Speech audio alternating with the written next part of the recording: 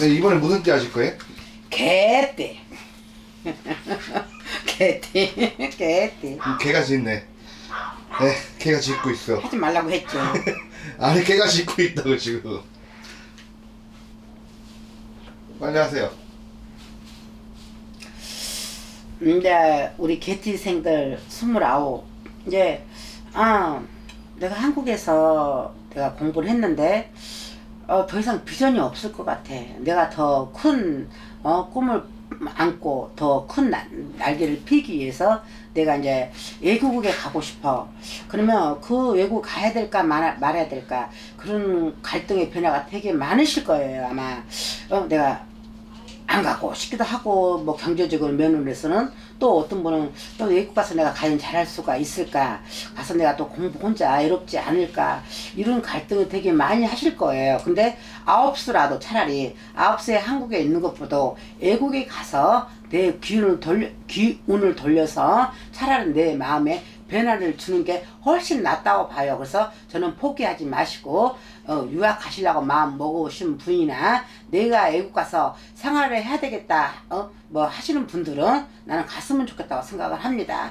외국 가서 가, 어, 가서 사시는 게 한국에서 고통받게 고통받고 사시는 것보다 훨씬 기운이 좋게 들어오기 때문에 저는 그게 외국 가서 살아라 말을 하고 싶어요. 그러니 외국에 먼 길 떠나도 아무 사고 수 없으니까 조심히 잘 다녀오세요. 그 다음에 41. 참 재주가 많은 사람이야. 재주가 많고 참 능력도 있고 뭐 여러 가지 반면에 뭐 인정도 받고 근데 이분들은 친구들도 많이 뭐 사귀고 근데 이분들은 고집이 정말 참 자기 고집이 강한 성향이 있어요. 그래서 친구들하고 참 잘 놀다가 갑자기 술 한잔 먹으면 내 말이 오라해 그 퍼포먼스만 계속 그 음, 기운이 그쪽으로만 쏠린단 말이야. 그렇기 때문에 올해는 내가 내 친구의 말도 좀 들어줘야 되지 않을까. 그, 그 성향이 나 발목을 잡지 않을까 싶은 그런 마음도 있고 특히 내가 뭐 예를 들어서 뭐 운동을 좋아한다 오토바이를 좋아한다 그랬을 때는 나는 그 그런 쪽에선 잠시 잠깐 멈추라고 싶, 멈추라고 싶어요 왜냐면 이분들은 사고에 기운이 너무 강하게 들어오기 때문에 응? 그렇기 때문에 올해는 그닥 좋은 해가 못 되기 때문에 올해는 음, 사고를 당한다든지 돈을 누구한테 또 뭐 예를 들어서 친다든지 그런 음, 기운이 있으니까 이분들은 어디다 투자를 하거나 그랬을 때는 신중히 했으면 좋겠습니다 그 다음에 어, 53, 음, 참,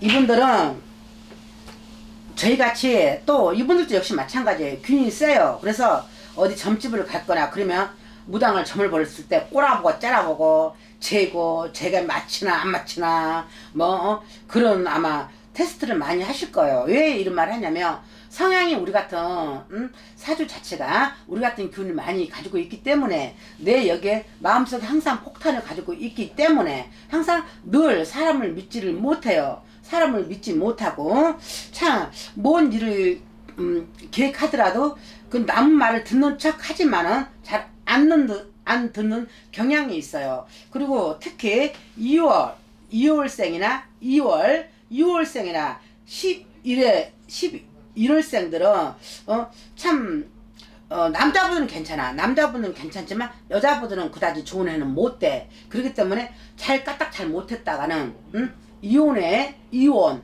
말 잘못하다가 이혼에 그냥 깨끗하는 수가 있기 때문에 자네 참 이상하게 써네. 이혼에 어, 도장 찍을 운이 있기 때문에 어, 수가 있기 때문에 참 말 한마디 조심하고 집에 남편이 뭐 여자가 좀 인상을 쓰더라도 한 석 달, 넉 달만 잘 참고 지나갔으면 좋겠습니다. 그 다음에 네, 몇살 때까지, 몇 살까지 했나요? 응? 몇 살, 몇 살까지 했어요? 저는 몰라요. 알아맞혀 보세요. 53세까지 했나요? 맞아요.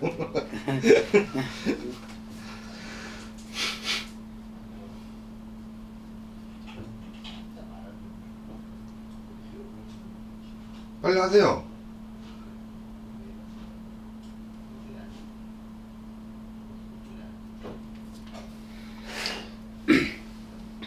이제 이거는 65세 어, 어 자, 이제 자손이나 이제 예를, 예를 들어서 우리 자손이 이사를 간다든지 뭐 예를 들어서 어, 본인이 아 내가 좀 큰 집을 어, 조금 너무 지금까지 고생해서 이제 큰 집으로 내가 좀 늘려서 가고 싶다 이분들은 꼭 저희 같은 무속인 분들한테 찾아왔으면 좋겠어요. 왜 그러냐면 이분들이 이사를 잘 못 갔다가는 정말로 우리가 폐가 망신한다 그래야 되죠. 정말 폐가 망, 망신한다는 그 말에 정말 내가 후회할 일이 생길 것이며 또 이사 잘 못 갔다가는 내가 건강에 많이 어, 해칠 것이며 또 내가 이사 잘못 갔다가 정말 왜 했던 사업이 갑자기 내가 망하고, 망해가고 있지? 그리고 내 자손이 정말 잘 나갔는데 왜 내 자손이 하루아침에 어? 내 직장을 잃게 되지? 그런 했기 때문에 이분들은 이사는 올해 정말 나는 안 가라고 하고 싶어요. 가지 마세요 하고 싶은데 내가 어쩔 수 없이 이사를 가야 되겠다 하면은 이분들은 집을 곤치거나 뭐 예를 들어서 뭐 음? 또 뭐 네 모델링 내가 새 집을 샀어 뭐헌 집을 샀어. 니도 네 모델링을 이쁘게 해서 이제 뭐 새 단장을 꾸몄어. 그랬다가는 정말로 어 본이 아니게 큰 사고다. 정말로 집에 하재수가 비치고 자손나비 어 자손나비가 정말로 그냥 어, 내가 정말 자손나비 때문에 정말 대성 통곡할 일이 생겨. 그러니까 이사를 안 갔으면 좋겠는데 꼭 가야 되겠다면 이분들은 꼭 저희 집 저희들 같은 무속인지 꼭 찾아가서 꼭 어느 방향으로 가야 되겠습니까 꼭 물어보고 가세요.